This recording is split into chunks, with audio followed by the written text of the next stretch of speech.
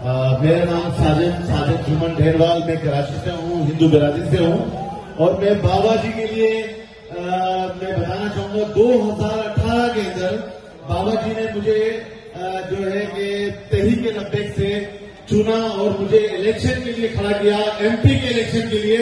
मैं बहुत खुशनसीब आदमी हूँ बहुत खुशनसीब शख्स हूँ कि मुझे इतना प्यार इतनी मोहब्बत बाबा जी की तरफ़ से वो कभी नहीं भूल सकता, वो दिन 2018 से लेके आज तक मैं तहरीक के लब्बे के लिए वर्क कर रहा हूँ, काम कर रहा हूँ, एक छोटा सा नुमाइंदा होकर एक वर्क कर रहा हूँ।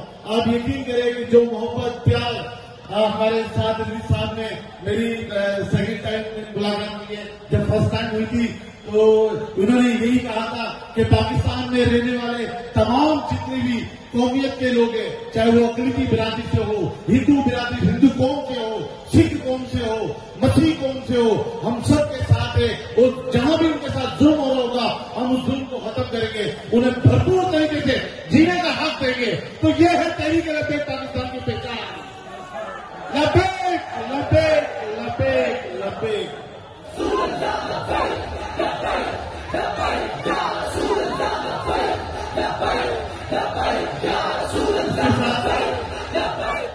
मैं एक बात और कहना चाहूँगा।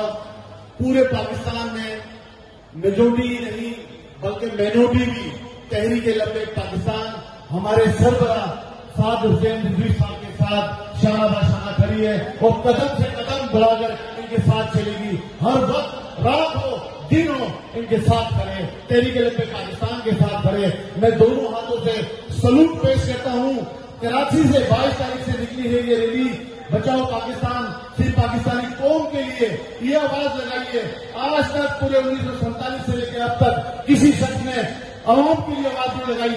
महँगाई बढ़ती जा रही है। पेट्रोल महँगा होता जा रहा है। लोग खुदकुशियाँ कर रहे हैं। मजबूर हो चुके लेकिन आज हमारी आखिरी किरण है। तो साद हुसैन रिजवी साहब है। हमारी आखिरी किरण, हमारी आखिरी उम्मीद पाकिस्तान